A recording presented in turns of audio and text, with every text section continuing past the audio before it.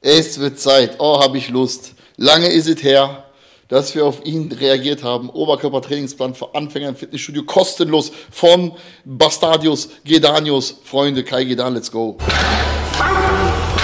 Tschüss.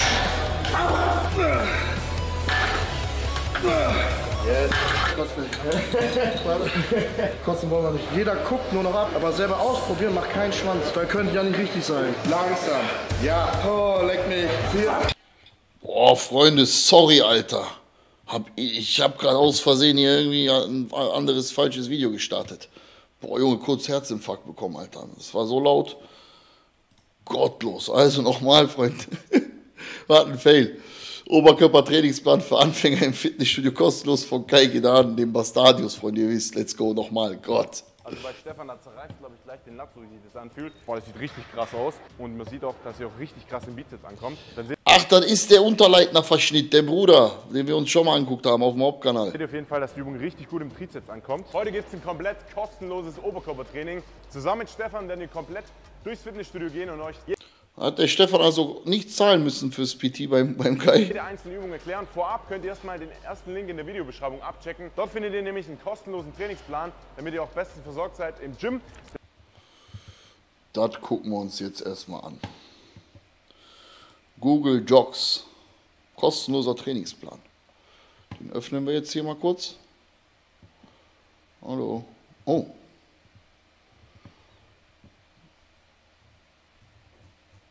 Sehe hier keinen Trainingsplan.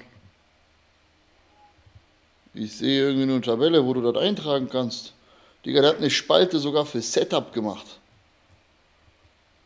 Ups. Kai Gedan, Alter, der ist wirklich ist ein raffiniertes Bürschchen, ne? Der nimmt das hier richtig ernst. So, weiter geht's. Der Stefan macht sich hier schon warm. Übrigens, Neuzugang bei Rocker könnt ihr gerne mal abchecken. Wir starten mit einem unspezifischen Warm-up. Das bedeutet ganz einfach seitdem der Zietlow zugegeben hat, dass, die, dass der am Stoffen gewesen ist, äh, sponsern die jetzt auch Stoffer bei Rocker, ne? Geil, Alter, endlich. Geht mal in die richtige Richtung bei euch, Freunde. Cardio, leichtes Cardio für 5 bis 10 Minuten. Dabei sippt der Stefan auf jeden Fall den Gold Pump. Wir machen uns jetzt so 5 bis 10 Minuten warm und dann gehen wir rein ins spezifische Warm-up. Fangen wir an mit der ersten Übung und zwar mit einer flachen Brustpresse. Am besten sucht ihr euch eine Maschine aus. Leg dich mal hin, Stefan. Eine Maschine aus, bei der die Griffe konvergierend sind. Wichtig, konvergierende Griffe laufen von unten, von oben nach unten schräg zusammen. Du Held. Komm, das ein bisschen Respekt hier an den Streamer. Du Held, kriegst du erstmal einen Timeout, Alter. Was ist los mit dir, Junge? Ab auf die stille Treppe für 600 Sekunden. Auf ganz entspannt, du Held. Aber danke für den Tipp, ich check das jetzt ab. so, ach, hier haben wir den kostenlosen Trainingsplan. Danke dir, mein Lieber. Kannst dich leider nicht bedanken, weil du gerade auf der stillen Treppe bist. Da muss man aufpassen, wie man mit mir redet. Ne? Also, wir haben einen schönen Trainingsplan. Push-Pull-Legs haben wir auch. Schreibt der Kurz- oder Kürzhantel? Ne, der schreibt tatsächlich Kurzhantel da rein. Pause, Setup. Gedanische Folter, Digga. Die gedanische Folter ist auch. Ey, der Typ ist so geil, Alter. Und einen Arnold-Split gibt's auch noch. Alter Falter. Also, der Kai, muss man ihm sagen, hat er sich wirklich Mühe gegeben. Props gehen raus, kostenlose Trainingspläne gibt es heute nicht allzu häufig. Bedeutet, hier unten habt ihr sehr viel Dehnung und wenn ihr jetzt nach oben drückt, ihr seht, die Griffe, also die Arme wandern nach innen. Das sorgt dafür, dass ihr in der untersten Position richtig viel Dehnung auf der Brust habt und oben eine richtig gute Kontraktion. Also die Brustpresse fühlt sich sehr, sehr gut an. Dann im letzten Tutorial haben mich viele gefragt, wo soll ich die Griffe positionieren? Und zwar positioniert die Griffe immer so ungefähr auf die Nippelhöhe. Das müsst ihr natürlich selber herausfinden, wie für euch das Beste ist. Aber ich kann euch mal empfehlen, testet es aus, ungefähr auf Nippelhöhe. Dann Stefan macht es hier richtig nice. Er nimmt die Ellenbogen rein. Er drückt nicht so, sondern er nimmt die Ellenbogen rein, kommt dadurch in den besseren Winkel. Dann macht er auch schon die Brust groß. Sorgt dafür, dass die Brust sich um den Brustkorb legt. Habe ich alles im letzten YouTube-Video erklärt. Und dadurch trainiert er halt richtig schön die Brust. Führe nochmal eine Übung aus, eine Wiederholung, damit die Leute richtig schön sehen, wie es gut aussieht. Yes, perfekt. Die Maschine feiere ich übrigens auch extrem, die ist gut. Hammer macht manche Maschinen gut, manche völlig Kernschrott. Aber eigentlich bei jedem Hersteller, ne? bei Gym 80 auch. Die haben auch manche, aber ich finde die Druckmaschinen von Gym 80 nicht so geil, muss ich ehrlich sagen. Da finde ich die von Hammer irgendwie besser.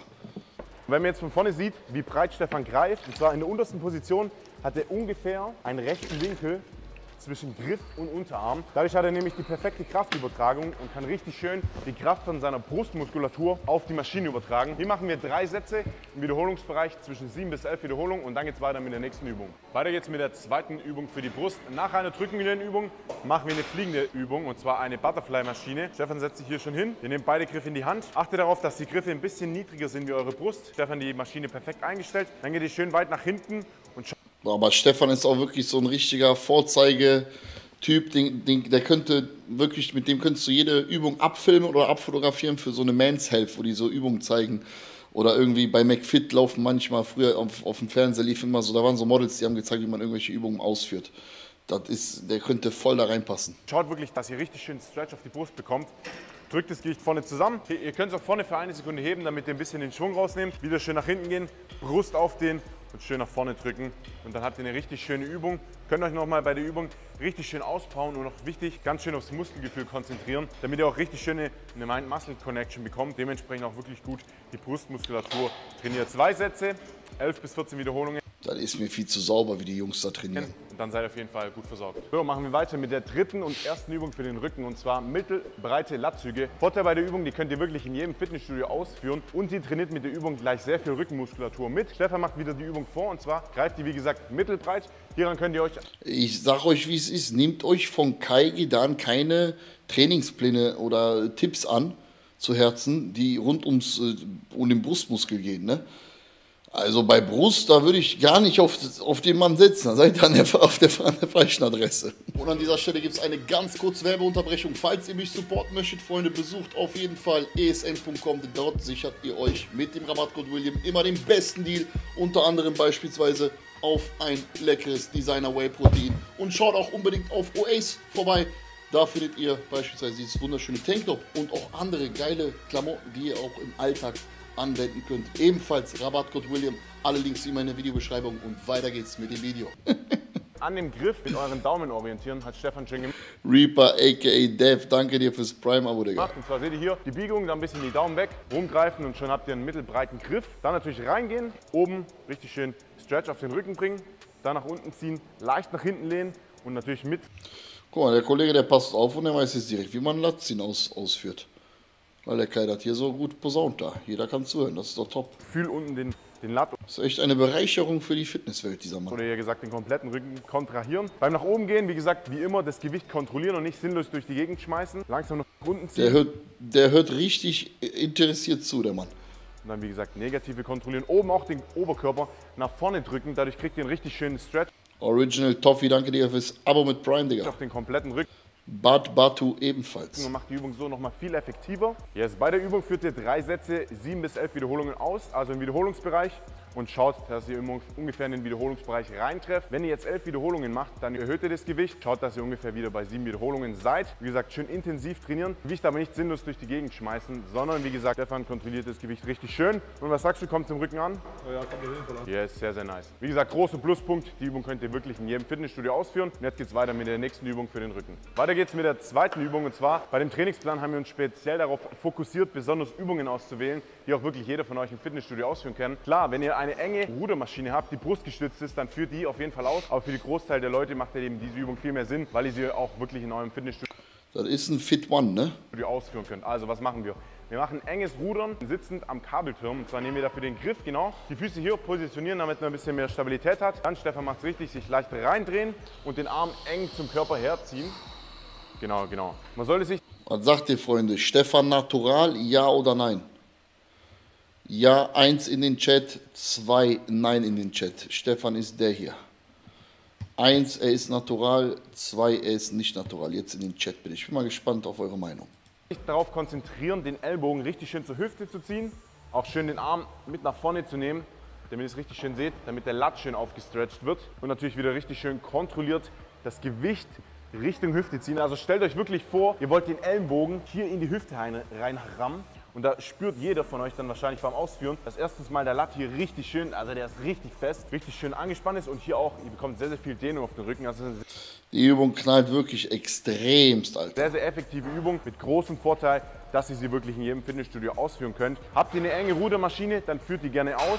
Genau, ganz wichtig, beim nach vorne gehen, richtig schön den Latt um den Brustkorb legen lassen. Dadurch wird er nämlich noch mehr aufgedehnt und ihr habt noch eine viel effektivere Übung. Ist ja bei, bei Kai immer ganz einfach um den Brustkorb rum, ne? weil da ist ja nichts vorhanden. Also ist er automatisch immer um den.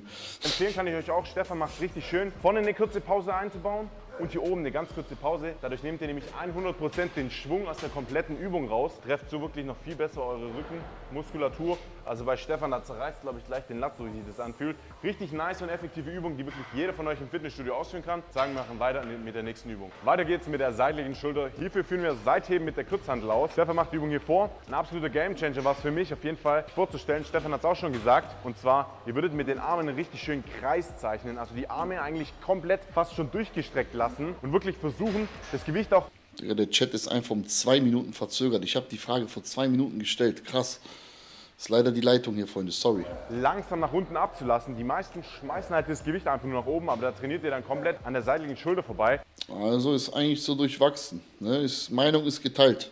Er könnte natural sein, er könnte aber auch ein Ballern sein. Ne? Ist, oder ein Fake-Net hier, kann auch sein. Denn die negative ist auch ein sehr, sehr wichtiger Oder ein Geringdosierer, kann auch sein. Punkt, den ihr auf jeden Fall berücksichtigen solltet. Stefan lenkt sich auch noch ein kleines bisschen nach Der sieht neben dir aus wie ein Kleinkind, sage ich. Das stimmt. Ja. Das aber auch, weil ich viel mehr wiege, ist normal. Trotzdem ist er ein brachialer Athlet. vorne. Das hilft euch dabei, ein bisschen besser in der Skapularebene Seitheben auszuführen. In der Skapularebene, korrekt. Richtig. Also da trefft ihr dann speziell noch besser die seitliche Schulter. Wichtig auch hier, schön mit Feeling zu arbeiten. Ein häufiger Fehler ist halt, wenn ihr euren, mach's mal falsch, und zwar, wenn ihr eure Arme genau anwinkelt, dann habt ihr einen anderen Hebelarm, könnt dementsprechend natürlich mehr Gewicht bewegen, aber es bringt euch natürlich nicht wirklich was, denn ihr wollt Doch, guck mal, die Schulter von Chris Kallum, der drückt die ganz anders weg, die Kurzhand. natürlich Fürs Seitheben. Zielmuskulatur effektiv treffen, dementsprechend die Arme immer schön durchstrecken. Der schwingt noch mehr und der steckt da gar nichts durch. Und irgendwie hat der bessere Schultern. leicht nach vorne zur Seite heben und wirklich, stellt euch vor, ihr wollt die Hanteln wegschmeißen von euch und dann sieht es auf jeden Fall richtig gut aus. Bei Stefan kommt die Übung auf jeden Fall sehr, sehr gut an. Das sieht man auch auf jeden Fall in der seitlichen Schulter. Wir machen jetzt weiter mit der nächsten Übung und zwar mit Bizeps Curls. Weiter geht's mit der nächsten Übung und zwar Bizeps Curls mit der Kurzhantel. Hier steht Kürzhantel. direkt vorab, bevor das Gewicht greift, der erste Tipp und zwar greift mal das Gewicht. Ganz wichtig, greift an der Hantel ganz oben, denn dadurch erzeugt ihr einen Hebelarm. Und wenn ihr jetzt die Hantel eindreht, wird halt eben der Bizeps bei der Supination noch ein bisschen mehr belastet. Boah, das sieht richtig krass aus. Richtig mehr belastet und ihr könnt so Der einfach Penishaut auf dem Bizeps. Richtig nice. Richtig dünne Haut. Dann sieht es immer so plastisch aus, ne? schön den Bizeps trainieren. Stefan macht sehr, sehr gut vor. Wie gesagt, man sieht auf jeden Fall, dass er richtig Ahnung hat vom Training, denn er macht die ganzen Übungen wirklich sehr, sehr kontrolliert und man sieht auch, dass er auch richtig krass im Bizeps ankommt. Warum machen wir Bizeps-Curls mit Eindrehen? Weil der Bizeps zwei Funktionen hat. Einmal die Flexion und einmal die Supination, also das Drehen des Unterarms. Und wenn wir diese zwei anatomischen Funktionen gleichzeitig ausführen, haben wir eine richtig effektive Bizepsübung, mit der wir schon sehr, sehr viel Trainingsstimulus erzielen. Stefan macht sie gut vor. Achtet auch darauf, wenn ihr nah ins Mashallah, Gedanius, Junge, mit neuesten Tipps. Muskelversagen kommt, nicht mit zu viel Schwung zu arbeiten, sondern versucht euch wirklich richtig schön durch die Übung durchzukämpfen. Und dann kommt ihr auch richtig schön in den Arm an. Was sagst du, Pump? Kommt an. Kommt an, Leute. Ich würde sagen, wir machen weiter mit der letzten Übung und dann ist es oben. Täuscht das oder sind Kais Schultern im Vergleich ein bisschen zu klein? Kai hat brutale Arme, ja, brutale Beine. Brust, Schulter ist leider wirklich seine Schwachstelle. Er hat echt eine scheiß Genetik, aber jetzt mal Spaß beiseite. Der gibt sich Mühe, der reißt sich den Arsch auf, ja. Der nimmt das Ganze sehr ernst. Ist ja auch, ähm, Digga, die Beine, wenn ihr die live seht auf Wettkampf, die sind wirklich, wirklich sehr böse bei Kai, ja. Brust komplett Kernschrott, aber wie gesagt, da kann er nichts für. Der kann so viel trainieren, wie er will. Der wird nie eine geile Brust haben. Oberkörpertraining auch schon beendet.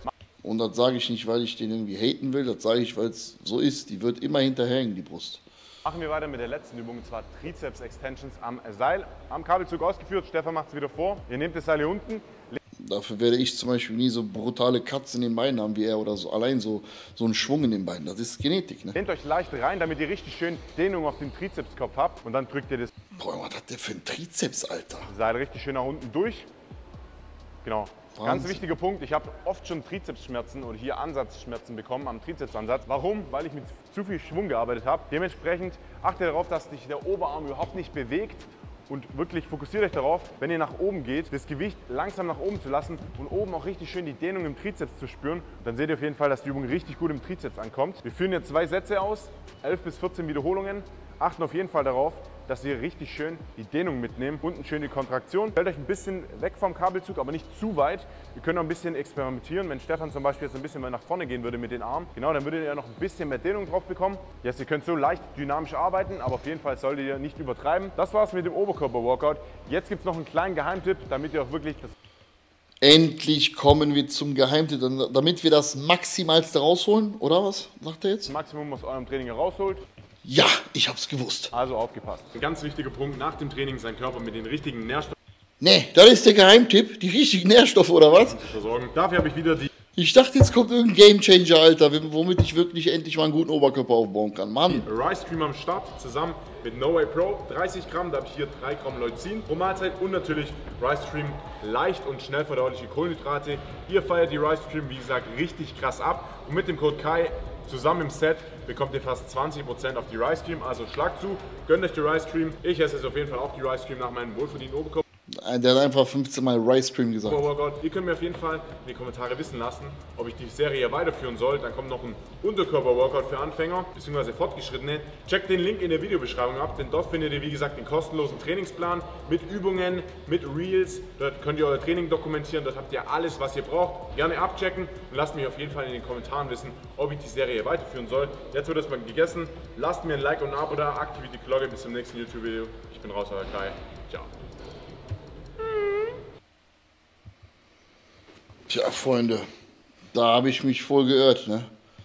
Ich dachte, da kommt ein richtig geiler Special-Geheimtrick am Ende und der will uns da seinen Rice Cream andrehen. Vielen, vielen lieben Dank fürs Zuschauen, Freunde. Und falls ihr mich supporten möchtet, schaut auf jeden Fall bei esn.com vorbei. Mit Rabattcode William sichert ihr euch wie immer den allerbesten Deal. Beispielsweise auf ein leckeres Isoclear. Aktuell trinke ich sehr gerne im Sommer den Raspberry-Geschmack. Gebt mir noch zwei Wochen.com ist jetzt online, da könnt ihr euch aktuell drei verschiedene geile Designs sichern. Alle Links wie immer in der Videobeschreibung. Und falls ihr auf der Straße oder im Gym den Dicken machen wollt, schaut unbedingt bei oace.com ab, denn dort habt ihr auch immer den besten Deal mit Rabattcode William. Da gibt es zum Beispiel diese wunderschönen Tanktops, womit ihr wirklich im Gym aussieht wie eine brutale Maschine. Vielen lieben Dank fürs Zuschauen. Schaut auf jeden Fall auch dreimal die Woche bei Twitch vorbei um 20.30 Uhr, Montag, Mittwoch, Freitag sind wir online. Alle Links in der Videobeschreibung. Vielen lieben Dank und bis zum nächsten Mal.